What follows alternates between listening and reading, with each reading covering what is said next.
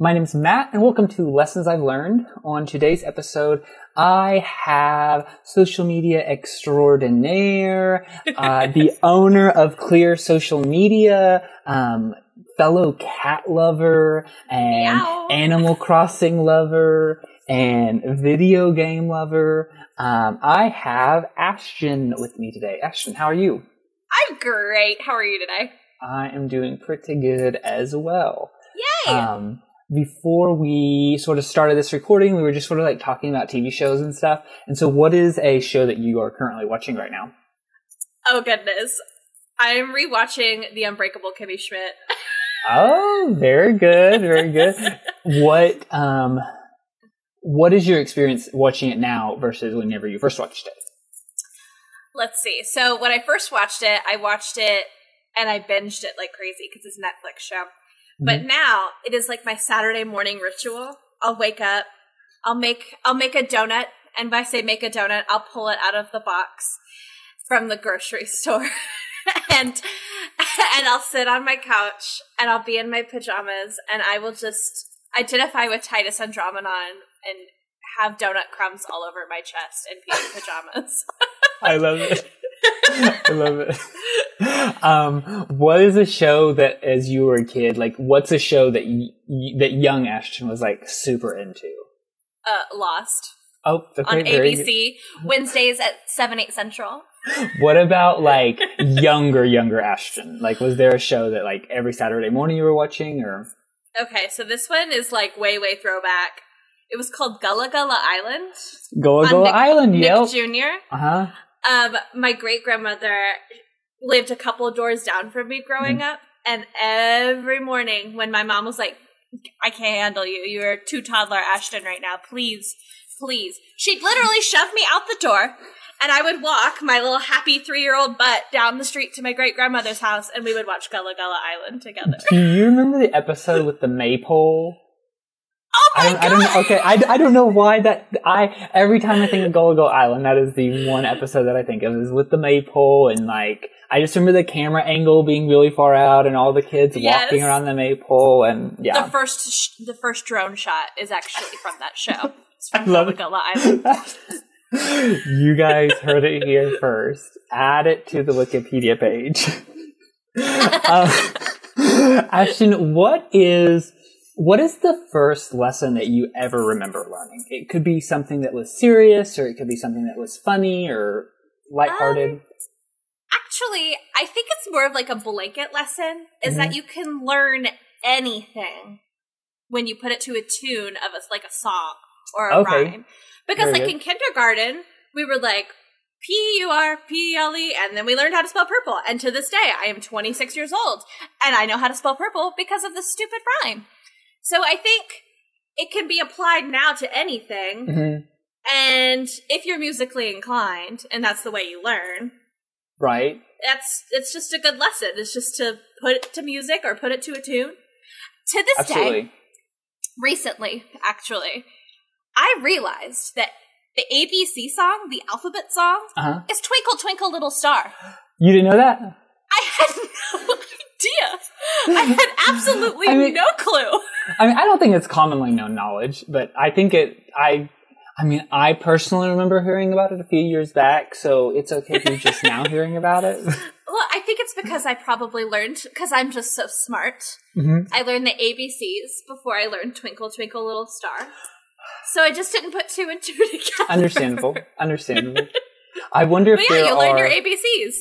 I wonder if there are other. Um, if there are other songs that we don't realize that are sort of to the tune of other songs like that. Oh, Um, probably. But that it is really interesting that you um, sort of brought that up because it like there are a lot of staples of things that are Mhm. um, sort of rooted in this. We're going to present this information to you in a song, and then you're going to remember it. And even like people doing like grocery lists and things. I think I, I feel like that's a common thing. Or um, Schoolhouse Rock or Hamilton. Like the like we have people that they know these things based solely on like a tune, a tune that was designed to help you learn by using a tune. My fiance actually, he knows all the state capitals because of Animaniacs. And it's he's like I I can't I don't know but it's like I yeah I've seen that video before and I'm sure there are thousands of other people that probably also know them because of Animaniacs. Yep, it's so weird. So weird. The human brain is just next level. so next level. It is So next level. It's so 2030. The next so the human brain. yesterday. What? Um, so you grew up in Texas. hmm Um, you sort of touched on like the musicality of things. Do you feel like your interest in musical theater um, sort of geared you towards music, or like like what was your relationship growing up with music, and like how did that sort of turn into pursuing musical theater? So I grew up, my parents are both, I don't want to give them credit where credit is due, but they're somewhat mu- uh, musically inclined. And so, like, we were always listening to music, and everything was always a song. And we had, like, cassette tapes out the wazoo of, like, Disney songs and, like, nursery rhymes. So I've always kind of been in that realm of, like, always having music around. What's funny is in middle school actually when um it was time for you to take your electives i did not i did not want to be in any type of music class whatsoever i was like put me put me in freaking what was it called model un i was like put me in model un i don't want to What is this. Model UN? Model UN is where you all sit in a room and you're all a country and you have to be diplomats and kind of there's like a uh, there's like a problem and you have to solve it. And Oh, as countries, you're like, I'll give you a stack of hay for 20 shekels. And it's like, I don't know why I thought I was going to do that. I am like the least diplomatic person that I know. I mean, it sounds like a game though. It is. It, it, it was actually very fun. Like, and especially when you've got like a bunch of teenagers screaming at each other over like, "I need more salmon in my economy." Like, it's fun. So my mother was like, "All right, you've got way too much creative energy. We need to hone that in. We need to get you focused. We need. I'm annoyed with you anyway, so like, take that energy elsewhere." and she put me in theater. She was like, "You need to take theater," and I was like, "All right, fine." And then from there, I've just been able to become myself almost in a way because I've been able to have this outlet that works for me and I'm able to create and give back and make awesome friends and have these amazing like intellectual and emotional relationships with people. It's it, theater is a blessing for people that it works for because it it is an awesome outlet and it is therapy in itself almost kind of in a way. What was the first show that you ever did? Ugh. The first show I ever did was Tom Sawyer. And I was the aunt. Okay. And I remember my first line, and I went, I was the opening line to the show, and I went, Tom, Tom Sawyer, is that you in the kitchen? Where are you, boy? You're gonna be late for school. And what grade were you when you did that? Oh, that was that was I think probably sixth grade. Okay. And it's so it's so funny because the boy who played Tom Sawyer is like one of my best friends, and we still talk. And his girlfriend lives up here in Chicago. And it's just like theater is just awesome. And so you discover theater and this sort of like world unfolds for you. And so at Mhm. what point did you decide that you wanted to pursue musical theater on like the college level? It's kind of interesting because I didn't think I wanted to do that. In high school, everybody's like, I have Broadway dreams. And I'm like, okay. You're from San Antonio and you can't sing. but I had an excellent mentor and an I had an excellent I was I was San petty. Antonio, I was petty. I'll be the first to Oh admit it. I'm still petty. I had an excellent mentor in high school. She was one of those teachers that was like, no, that's not the part you can play. Why would I cast you as this? When you have, when you can excel so much in this role, it's not the lead, but you're going to kill it. Mhm. And me was like, no, I, I am Elle Woods. Excuse you. And she, she really like set me on my path and she's like, no, this is your niche. Follow it. And so I was really able to flourish. And I even went on to scholarship competitions for theater. and I excelled really well as the role I was in, not the lead, but a supporting role. And that really opened my eyes to be like, wow, like there are so many opportunities in theater. It's not just about being the star. It's about being yourself mm-hmm. and and being a part of a team. And so I think that really resonated with me and um I decided to kind of go off and audition on a whim. Um, and my my theater teacher in high school really like pushed me into these awesome uh, opportunities, which launched me to go to college.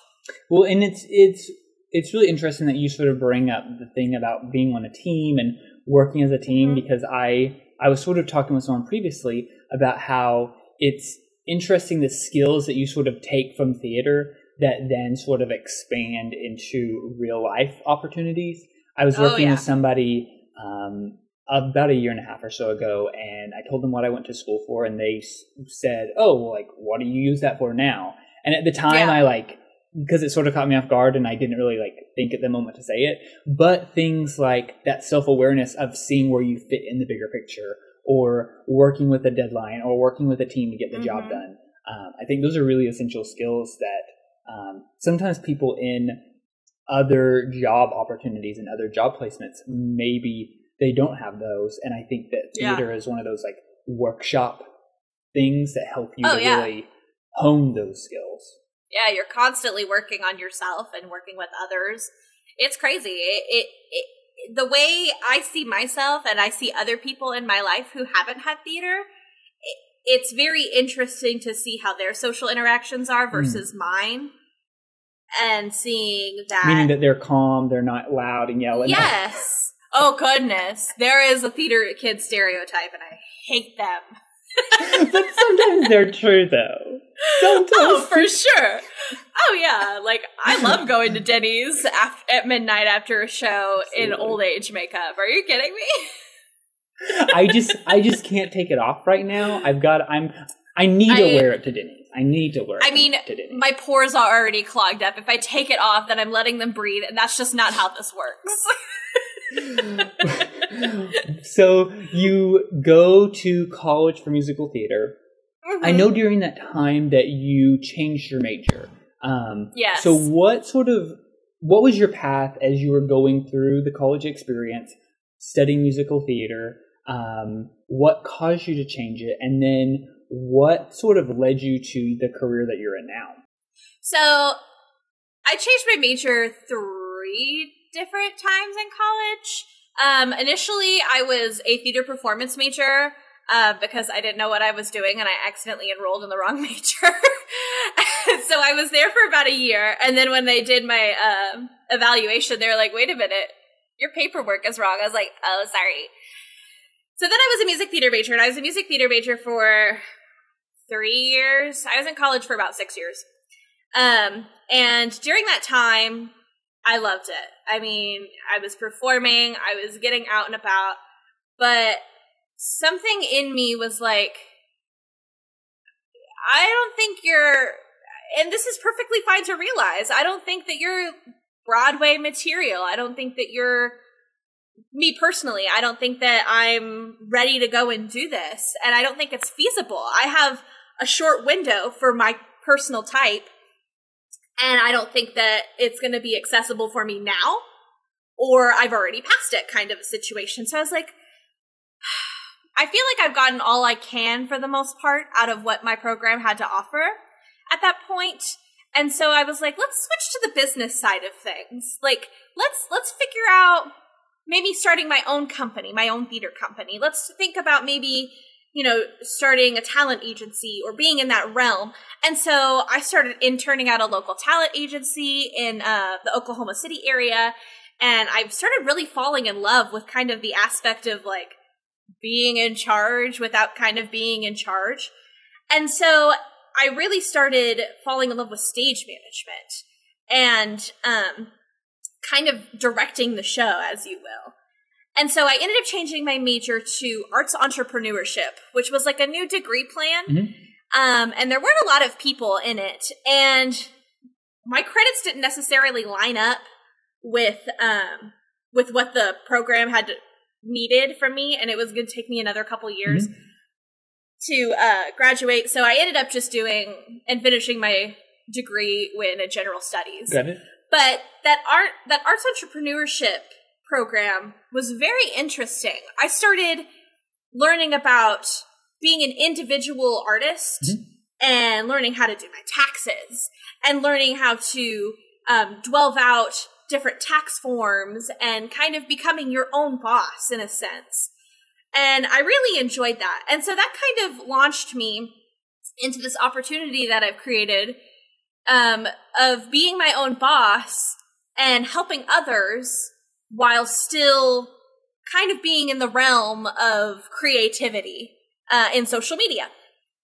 So you're currently in Chicago and mm-hmm. you work for an organization managing social media accounts and then you have your own company Cleer social media yes. where you have your own clients that you manage um, correct so what is what is your experience that you are sort of learning managing social media for other people versus using social media for yourself as a consumer honestly i'm so burnt out on social media i i I love doing it. Mm-hmm. It's addictive. It's and and the things work and being addictive, like having that addictive quality, are like a match made in heaven for me because I'm constantly working and mm-hmm. I like it. Mm-hmm. Um, but when I'm sitting there and I have nothing to do and I'm scrolling, I'm like, I hate this. This is awful. this is awful. Why am I doing this?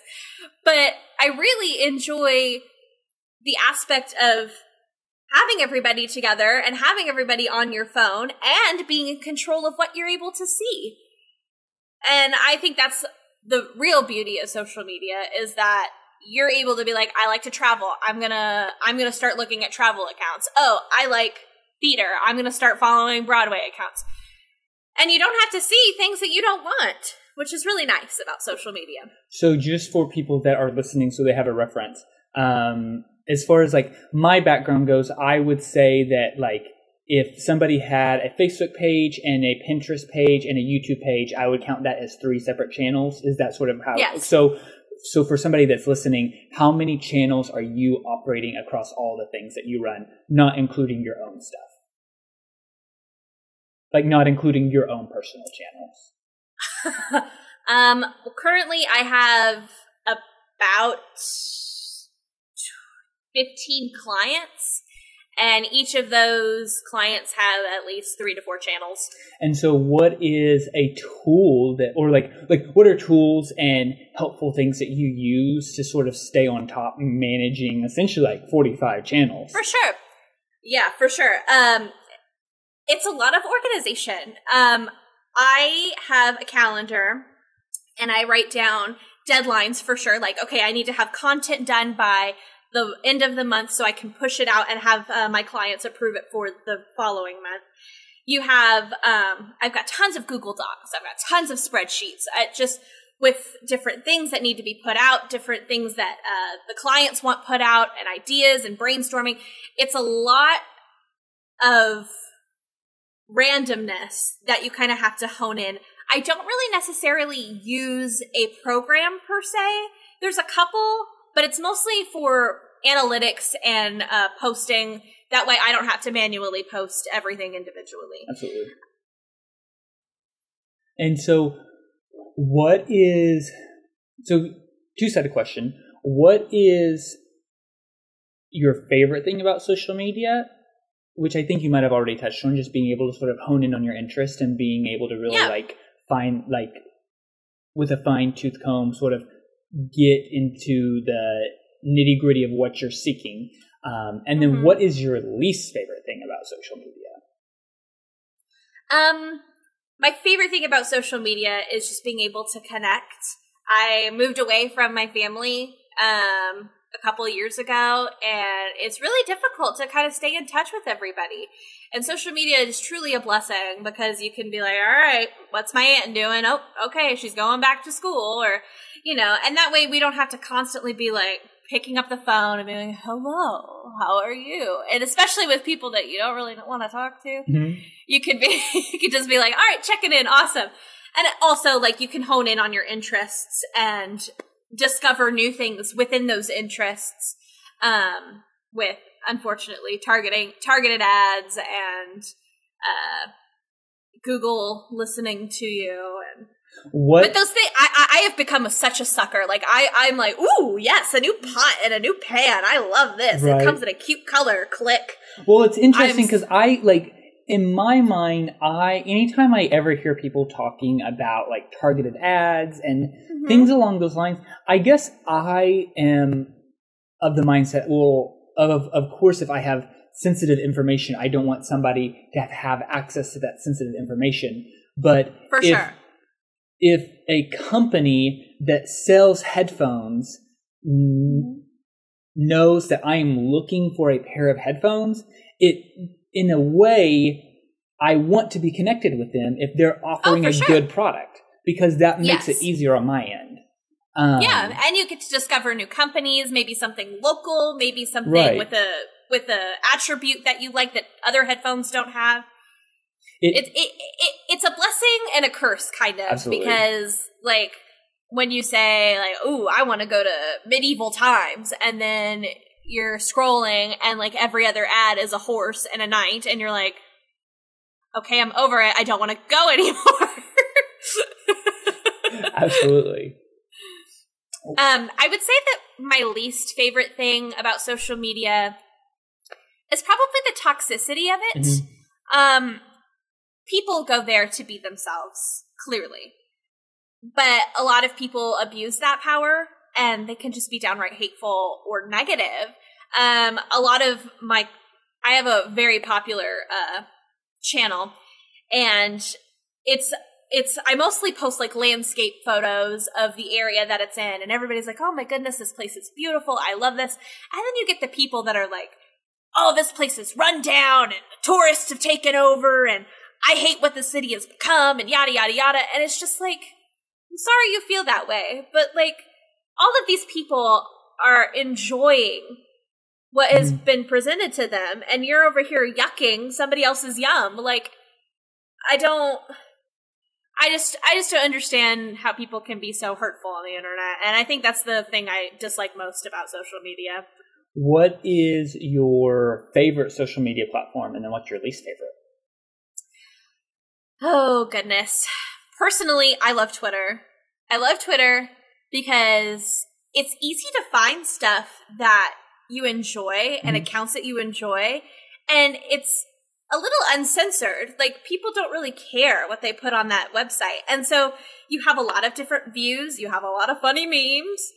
Um and like you're able to connect and share those things even and even if they're like not that great.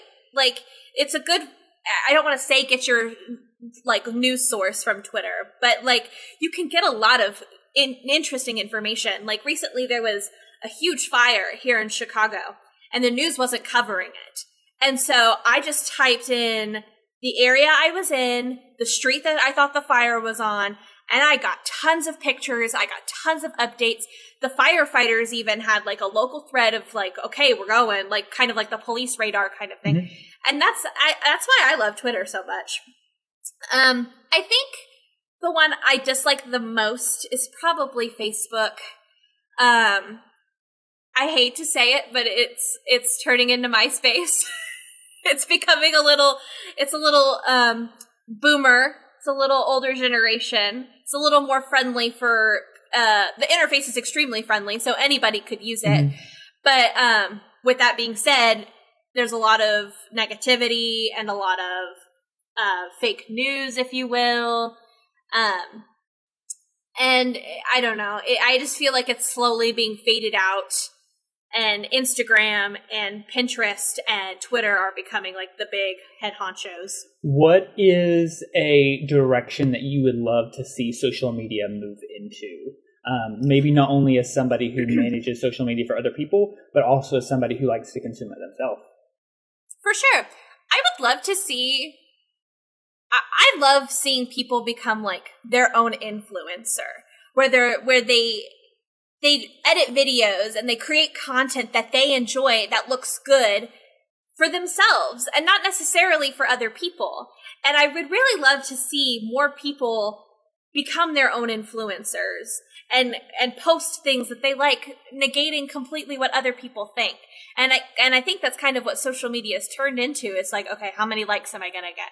Okay how many uh you know how many comments am i going to get how much engagement am i going to get you have to create content for yourself that you like before you can put it out and market it towards other people because if you don't like it, other people aren't going to like it. Absolutely. So you have to be you have to be confident in yourself and you have to be confident confident in your own content before you present it to other people. And I would really like to see more people be open to liking things for themselves and then connecting with to other people who like things also for themselves and they like the stuff that people put out. Well, and it's almost um the way that I sort of look at it is I've always really had this interest with social media just because it's been really easy to just sort of like make things and put it on there. Um, and I, mm-hmm. I'm someone that I just like to make things, and so it's just sort of always yeah. been an outlet for me. Um, like I would, I would make videos in my room lip syncing, and I would post them onto like a MySpace bulletin, and and yes, just just because I wanted to, just because I thought it was fun. Yeah. Um, and then as you're I, making it for yourself, absolutely. And then as I sort of got back into this YouTube thing, uh, maybe five six years ago, I was mm-hmm. sort of looking at all the popular YouTube things at the time. And I was like, okay, I want to make videos, but it was really catered towards making videos stylistically that was what was popular at the time. And I found oh, yeah, myself. There, there was. Oh, um, there was definitely like an like a, a a formula Absolutely. on YouTube, especially. People had like certain screen grabs that they would use for their uh, video thing. Absolutely. And it would be X amount of time, and you would do X, Y, Z, and definitely. Well, and it, it it was something that I eventually found myself getting to this place to where I um I didn't really gravitate towards the content that I was putting out, and so it wasn't mm-hmm. sustainable, mm-hmm. and it wasn't something that I was really wanting to show people because I felt really proud of the work, if that makes sense. Yeah. Like I felt like it was gaining traction, but it wasn't something that was like, oh, this is something that is true to myself. Versus now, some of the stuff that I'm making, because I still like putting stuff out there. Um, For sure. It's more true to myself, and I find even though I'm not really getting the traction that I would always like, the sustainability yeah. behind it is is supporting um, me continuing through those times. Yeah, because you have to be interested in something to continue to do it. Absolutely. It's just like starting a new hobby. You're like, oh, I'm going to start. Uh, what is that one thing I started doing that I completely negated? is punch needling. Okay. I bought all the stuff for punch needling. It's like it's like cross stitching, except you just like punch the. Okay. I did it for five minutes. I bought like like a hundred dollars worth of supplies, uh-huh. and I'm like, mm, I don't like it anymore. And that's the same thing with social media. You you have to be creating content that you like for people to like it as well. As somebody who runs things for other people, do you ever have a mm-hmm. passion for wanting to get to the place to where you are making an income off of the own things that you're creating, or you like the place where you're fitting it within social media? I definitely like where I'm sitting right now. Um, I have a lot of room to kind of do what I'd like and present um, different outcomes for content mm-hmm. in a way. Like, hey, we could go this direction. Hey, we could go this direction. And that really fulfills my creative outlet that way. Um, and I'm getting paid to do it. So I'm not too upset about that. Um, but I think it's just finding the right client and it's okay to turn down work. Like if you, if you're meeting with a client and they're saying, I want cookie cutter this, I want buzzword that, I want SEO this, and you're like, uh, I get where you're going, but like this isn't going to work. Like I, I personally feel like your business isn't going to grow from what I'm going to create from what you want versus me giving you different options and different directions and going that way and growing organically that way instead of trying to piggyback on the trend or right. the buzzwords.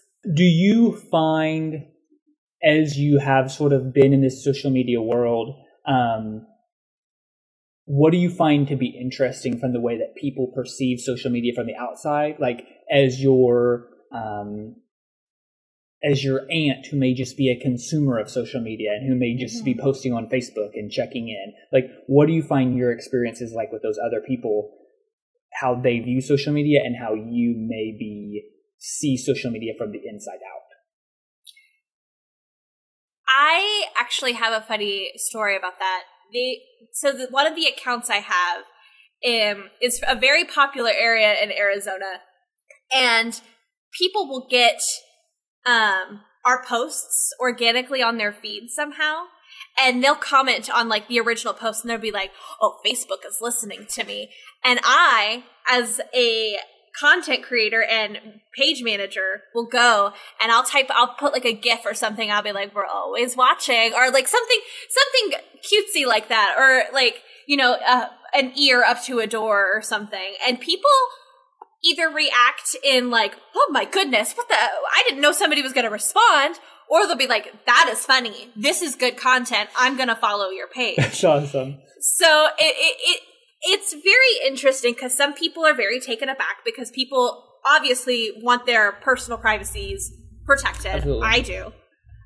But other people are just kind of along for the ride and they're like, that's funny. Yeah, they're listening and they're and they know it and they acknowledge it. that's awesome. Um so sort of um moving from social media to Chicago, what is um, what's something that took you to Chicago, or what is the thing that took you to Chicago, and then what is sort of your experience being there? Definitely.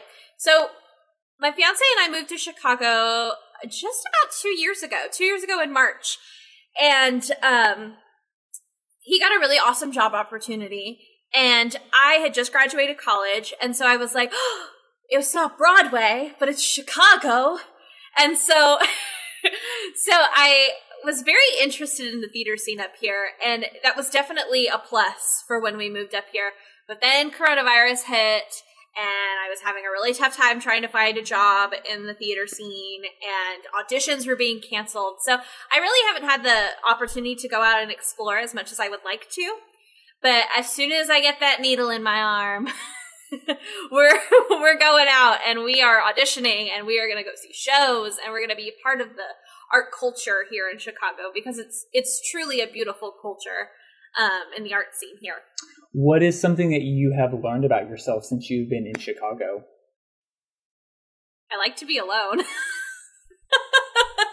Being in quarantine is kind of awesome. I, I know it's horrid to say that, but I've truly learned a lot about myself in that I work well by my by my own lonesome. I don't think I could survive in an office job. I, I've learned that I can be an independent person and still kind of find my own niche and make a profit and make a, make a living doing so. And and I get to enjoy this beautiful city that we have. We we order in, we get to go out to restaurants when it's permitted and it's a really awesome area to be in. I know that right now, um, it seems like within these last few years, and I'm sure moving forward, there are people that um, they really have an interest in creating things for social media and mm-hmm. maybe being like social media influencers. And I like I know for myself, like I would love to get to the point to where I am creating stuff that I'm putting online and I'm either making AdSense or I have some backing that I'm getting from the things that I'm creating. Um, yeah. That I would love to be able to make an income from the things that I was creating online. Um, and the experiences that, that I've had over the past, let's say, 10 years with creating things, mm-hmm. um, I realize now sort of where I fit into that big picture and maybe what a realistic goal is. So, what mm-hmm. is some advice that you would give to somebody if they um, maybe they just realize that they have a desire for social media and they and they like social media. Maybe they like the analytics aspect. Maybe they like the content creating aspect of it. Mm-hmm. Um, what is some advice that you would give to somebody who wants to get into that field, whether it be managing or creating content or any one of those scopes? For sure, it's not going to happen overnight. It's definitely a buildup. Um, it takes a long time to organically grow um, as a person and on social media. So you can't, it's not as much as the internet is instant gratification. Managing and creating is not. Um, it's going to take time. It's going to take a lot of issues maybe you run into some problems. You have to be persistent and you have to be, you have to want to get to where you want to be and have to want to work for it because it's not just going to happen. Like, yes, there are the opportunities where people go viral and then they cash in on that.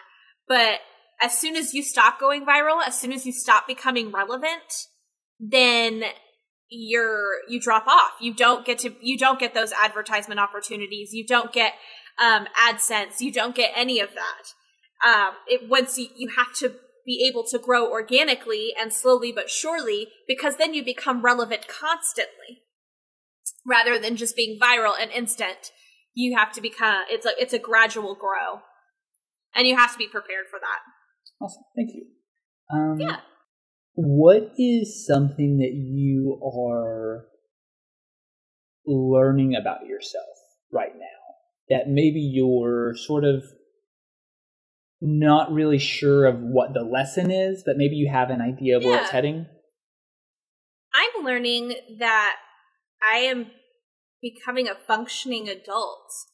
Like, I have a really close relationship with my parents, and I would call them all the time asking for questions like, oh my goodness, this is happening. What should I do? And usually they would just be like, you need to figure it out. But they would give me advice, obviously. But I'm realizing that I don't need mommy and daddy anymore. um, I I'm realizing that I can do things on my own, and I can. It's okay to ask for help, clearly, but you can try and you can fail, and it can be okay.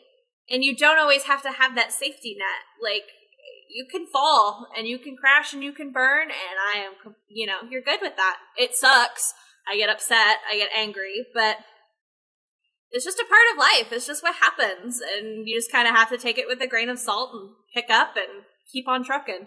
Very nice. Ashton, as we're sort of closing out here, thank you so much for stopping by. I am so glad that you could join me. Um, Ooh, you, thank you. you I love you so much. So I'm so glad I'm here. What was the line that you said again? The you're from San Antonio and you can't sing. Was that it? Are you telling me I can't sing? No, no, no, no, no. What was that line that you said earlier? I don't remember. It was it was something along the lines of "You're from San Antonio, and you can't sing." Um, it was. It was oh, yeah, yeah, yeah. Okay. It was like, yeah, you'll never get to Broadway. Okay. You can't sing. There we go. But you included San Antonio in it, and I think that was what made me yes. laugh so much. Um, oh yeah, yeah, yeah, yeah. I said, okay, sorry, sorry. I said you're fr- you're in you go to high school in San Antonio, and you can't even sing. There we go. That's it. um, if people want to reach out to you, ask you questions about social media, just want to laugh at the funny things that you post, they can find you on Instagram and Twitter at Ashton Cleer, correct? Yes, and with two E's, C L E E R. Yes, A S H T O N C L E E R, Ashton Cleer. Um, you're me. also on LinkedIn, Ashton Cleer. You also run Cleer Social Media. What are the platforms that they can find Cleer Social Media on? Just on Facebook or right now? Yep, right now we're just on Facebook. Uh, just do facebook.com backslash cleer social media with two E's. Fantastic. Um, okay, sweet. Thank you so much for joining me, Ashton. And I. Thank you so much um, for having um, me. I will talk to you. So- I don't know how to close it. We'll just say this is the closing right here. Okay. And we're done. and scene. And scene.